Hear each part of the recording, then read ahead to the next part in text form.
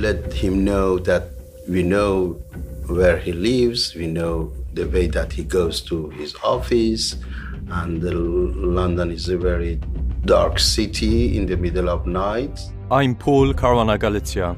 Iran trying to assassinate people in Britain isn't a story that I thought I'd ever cover.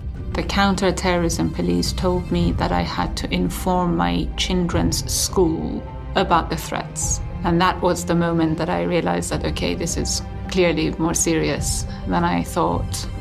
When reporting my last podcast series, Londongrad, an investigation into Russian money in London, I began to see the city in a completely different light.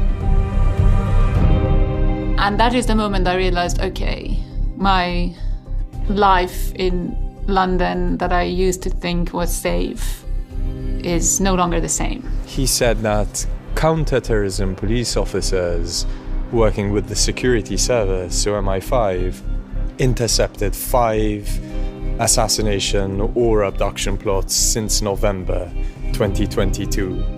It doesn't surprise me at all, and clearly your number of escalation from 10 to 15, that is what the DG of MI5 is revealing publicly. I would, if anything, suggest that's quite a low number compared to the reality.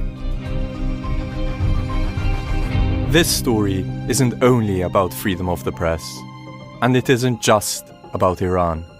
It's about Britain, about who the country protects and why. From Tortoise, this is Series 2 of Londongrad, Iran's hit squads. Listen today. Search for Londongrad, Iran's hit squads, wherever you get your podcasts. Tortoise subscribers get early access to each episode and ad free listening. Subscribe to Tortoise Plus on Apple Podcasts.